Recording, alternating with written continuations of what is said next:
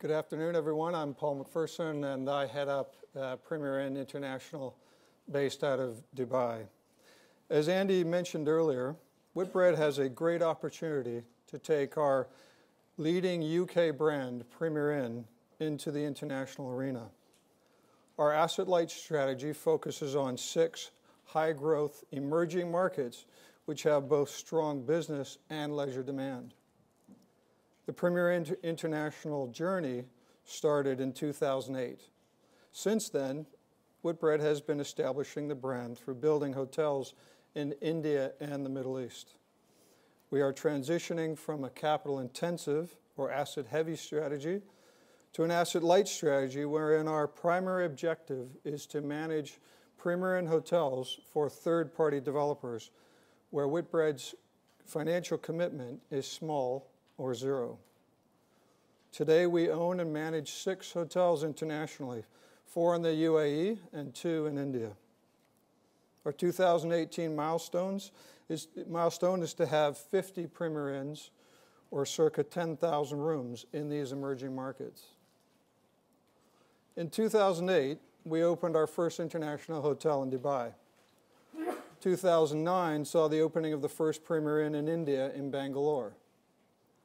I joined Whitbread in 2011, at which time we revised our international strategy from asset-heavy to asset-light. And over the last two years, we've been building a small executive team based in Dubai. In July 2012, we opened our Asia-Pacific office in Singapore, which to this point is concentrating primarily on development. To build a profitable growth platform, we're focusing on building scale in six markets, being India, the GCC, and Southeast Asia, namely Indonesia, Singapore, Malaysia, and Thailand. These emerging markets have strong continued economic growth, fragmented competition from both international and domestic brands, growing budget sector hotels with the five and four-star sectors having already largely been established, and burgeoning business and tourism travel. Morphing to asset-light within these markets is providing faster pace to build a network of hotels within the six markets, lower investment where partners build our hotels, and lower investment risk with the plan to have the majority of Premier Inns internationally as management contracts without investment. And it provides us greater access to third-party developers. We have offices in Dubai, Delhi, and Singapore to develop the Premier network and to oversee the management and operations. The executive, on average, have over 20 years of experience in the hotel industry with leading international hotel companies. Both of our regional heads of operations come from Premier Inn UK, bringing the highly valued DNA to Premier International. Premier Inn UK provides an excellent platform from which we will grow our international operations. Three fundamental elements of Premier Inn set it apart from its competition. Firstly, Premier Inn is the number one U.K. brand in the budget sector, and Whitbread is a single-sector hotel company, unlike most other major hotel companies globally. Secondly, managing and also owning over 650 hotels illustrates directly to third-party developers a true alignment of understanding hotel ownership, with a key, which is a key differentiator to our competition.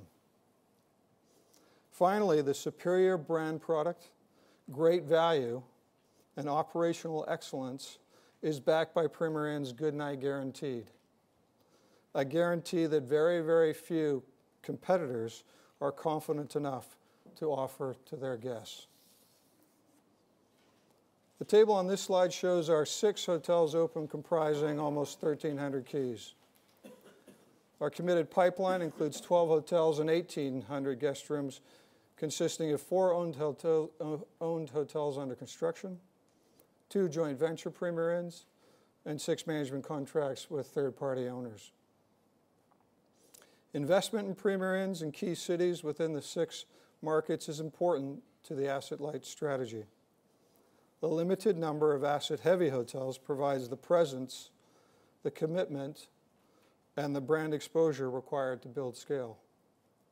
After a year of having a small development team in place, we have signed 14 MOUs totaling approximately 3,000 rooms. 13 of those 14 are asset light. In the UAE, good GDP and disposable income growth is projected over the coming years, combined with continued strong investment in travel and tourism over the next decade. We continue to make good progress with our four hotels in the Middle East, with the business now profitable. Our guests who stay in our hotels in the UAE comprise of an even split of one-third from the UK, the vast majority who know the brand. One-third from other countries, some of who know the brand, and the other third from the GCC. Our joint venture partner, Emirates Group, has invested in our four existing hotels and two that are under construction in Abu Dhabi and Doha. Emirates Group is a burgeoning company with non-airline activities that match the level of airline business volume. Dubai is expected to become the world's busiest airport next year, due largely to Emirates Group continued growth.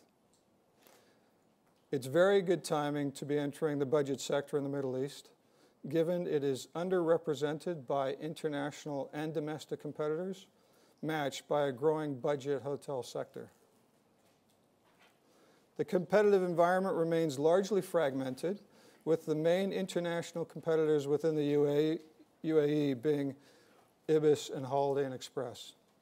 These brands are part of companies that do not have the single sector focus like Premier Inn, which is so appealing to third-party developers.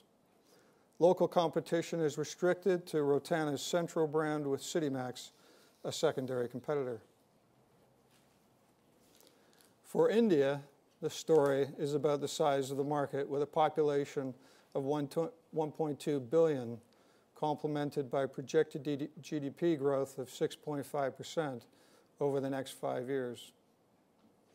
Disposable income growth should continue at pace, increasing 8% per annum over the near future, and travel and tourism expenditure is expected to escalate at an annual double-digit level over the next decade.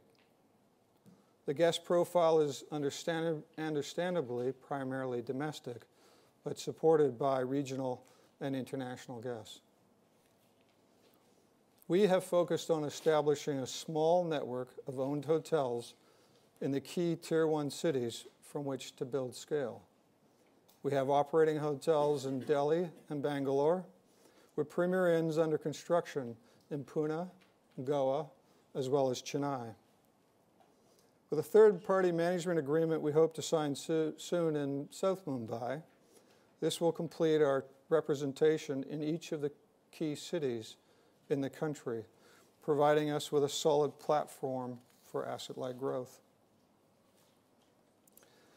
It's early days for international budget hotel brands in India, with Ibis having established a presence, Country Inns being the leader, but with franchised hotels that could well compromise their brand, and Holiday Inn Express having entered last year. There's also a number of local brands in India which have established a presence, the attractiveness being the size of the market. It's early days in our journey, but with our two existing hotels, three under construction, and the third-party management agreement we hope to sign soon, we are establishing a presence in the key cities of one of the world's fastest-growing economies. Southeast Asia has a population of over 350 million people and has seen very robust growth in disposable income over the past five years, escalating between 12 and 16% per annum. The region is expected to see strong direct travel and tourism spend over the next decade, ranging from 5 to 10% per year. The burgeoning budget airline industry is transporting an ever increasing number of those 350 people living in the region to neighboring countries for both business and pleasure. Inbound travel from countries like Japan, the UK, and India is increasing rapidly and at explosive levels from China, with 65 million visitors in total. Again, for this region, it is great timing for Premier Inn to enter given the budget hotel market is fragmented with limited international budget brand presence. Southeast Asia, with its four interconnected economies, provides us with an excellent opportunity.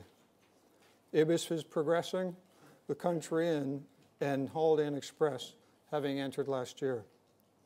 There is a limited number of local competitors, one of which, none of which have a significant position. We're off to a good start with five confirmed hotels and eight MOUs having been signed in the last year. By 2018, the plan is to have 4,300 mature rooms and 5,700 new rooms. We anticipate that half of the circa 10,000 rooms will be owned and the other half managed for third party developers. Hotels typically mature over three to four years, and we therefore expect our mature hotels will be delivering double digit ROCEs by 2018, proving the success of the brand internationally. So, in summary, we're transitioning from an asset light strategy in a small number of promising markets that are showing traction after our first year. Premier Inn International now has a great executive team in place with decades of hotel as well as international experience. We're highly focused on a single sector of the industry with a world class brand. We have and will continue to lever off Premier, Inn, Premier Inn's UK excellent business.